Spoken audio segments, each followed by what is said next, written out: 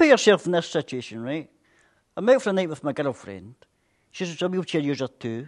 We're off into town, taking a movie, bite to eat, a club, back to my place. We've had a great evening up until we get to the club. The doorman won't let us in. You know, why no? Because two people in wheelchairs are a health and safety hazard. No kidding. He said one of us could get in, but not both. Great, I says. See you later, Julie. And left her sitting at the door while I went for a beer. Only kidding. Can you imagine that? Back to my place, maybe. But I was so angry I wasn't in the mood for anything. That's Sam's favourite story. If I've heard it once, I've heard it a thousand times. But it's not like that now.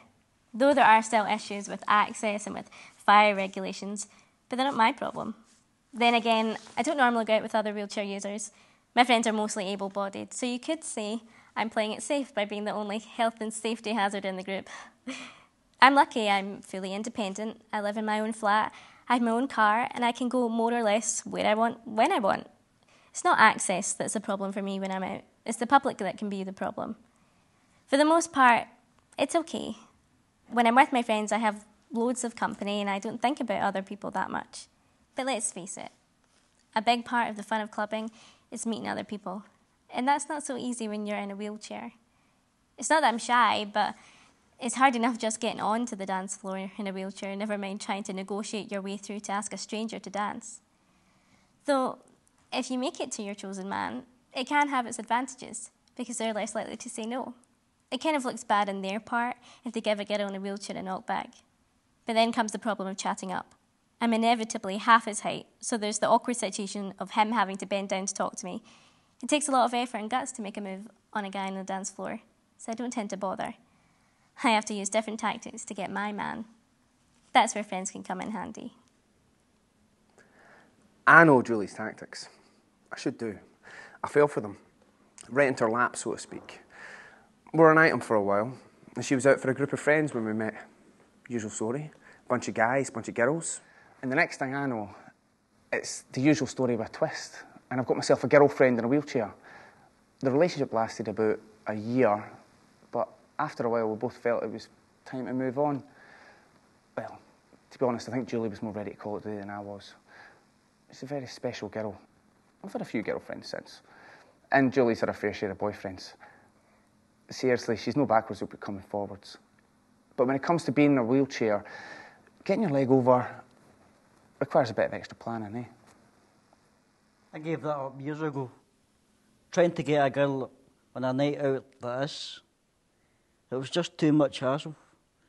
Too many knockbacks. It was really difficult to overcome all the hurdles when you're in a chair. I was very surprised to find myself with Julie on that night out. But I suppose we were all sitting around the big table and she quickly blended in. And when you're on a table, you only see people's upper body anyways, so the wheelchair becomes pretty much irrelevant. I mind going out. Just the two of us was a bit odd at first. People would look at us and we were out together. At least I was aware of it at first. I suppose people always looked at us, but eventually I didn't notice. And I guess if you're born with a disability, then you know you learn not to notice the stares from other people. But I remember shopping with Julie though and being surprised by the fact that she bought from the same high street stores we all shop in. I don't know why that surprised me. I suppose I expected her to have them made to fit, but really, she's just the same as everyone else. You know, pretty much for the knees up. So there's not much need in her altering her clothes. It's like taking a hem in a pair of trousers. And it's funny to think that was really a small portion of her body that's no there is such, such a huge impact on how other people see her. I think it's great that there's more and more genuinely disabled people turning up on TV. That Britain's Next Top Disabled Model was great for the likes of me. Suddenly, was it not only acceptable and almost trendy to be disabled, it was sexy too. I felt different after that. It gave me a confidence boost. Not that I was lacking confidence, but it's hard enough just living in a wheelchair without having to fight for your place in society too. So that was great. Now I've got guys wanting to date me because it's cool to have a disabled girlfriend.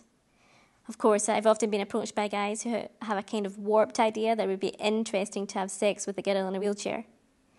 But it doesn't take long before they say something or ask a couple of stupid questions that are a dead giveaway.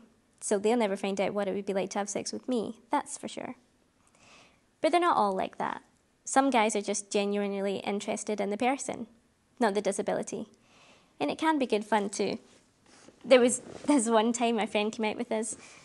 I shouldn't really be telling you this, but it is a great story. And she's in a wheelchair too. So she was being chatted up in this club by this guy sitting rubbing her leg.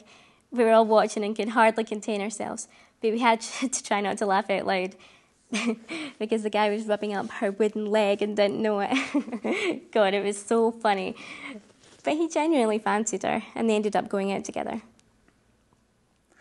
Julie's a laugh a minute. Oh, she's great fun. And when we're out, we always have such a good time. But I know that deep down she's very conscious of the fact that she's in a wheelchair. And she hides it most of the time, but she is conscious of her body. I think we're all conscious of our parents. It's just that she's a bit different for the rest of us and has to work that bit harder to get the general public to accept that. I don't really notice it anymore. She is who she is. But I've seen people look at her and then look at me as if there's something weird going on. And I'm not even her boyfriend now. If people would just accept her, then she wouldn't have to be constantly trying to prove herself. I know that's a big deal, but it pisses me off sometimes, you know? She's such a great person. I love having her around. It can be a real laugh when we're out and and she has her eye on someone, she'll tell us who she fancies, and then we go into what I call Operation Roundup. Either I'll try to time things so that I get to the bar at the same time as the other guy she's after, or the girls will move in and, you know, in the dance floor and invite the guys over, and then Julie can work her own magic from there. And she rarely fails to get her man. It's a very effective technique because it forces them into a situation where they have to accept me or lose face in front of everyone, trapped like a fly in my web. I like meeting up with Julie, hearing about her various conquests. It makes me feel that I should get back out there and go for it. But I've lost inclination. I'm out of practice. If I was young like Julie, I'm sure it would be different, but I've been on my own for a long time now, and I'm not sure I'd want to risk getting into another relationship. I'm sure Sam will get there. He's a great guy and a brilliant musician. One day his time will come. And me? I fully expect to get hurt somewhere along the line. It won't be the first time, but you don't need to be disabled to get hurt in a relationship. You just need to be prepared for it to happen a bit more often, or be like Sam and avoid it altogether. But it works both ways. I'm not always the one to get chucked. I've broken a couple of hearts already.